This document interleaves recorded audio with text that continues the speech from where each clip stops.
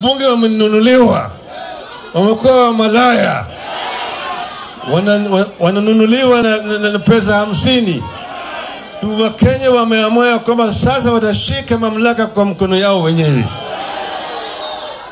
na kwa hivyo wamesema ti siku ya saba saba tarehe saba mwezi wa saba Ijumaa ijao Wakenya wote Kenya mzima utajitokeza na kusema ya kwamba enough is enough.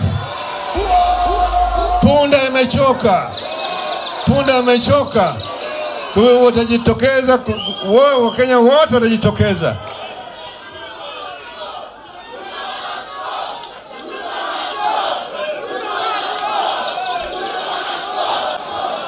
Hello? halo, mnaunga mkono? Mnaunga mkono, nione kwa mkono.